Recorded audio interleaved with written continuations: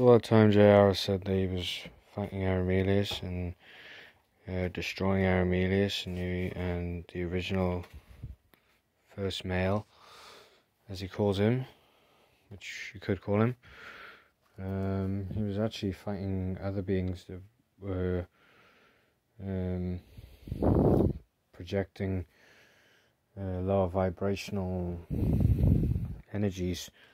onto him. Um, and every time he, sometimes he, he may he in the moment he thought he was destroying Aramelius in the original first male, but he was actually and Lilith, uh, and Armelius, but he was actually destroying beings that were attached to us, to Armelius, to Lilith, to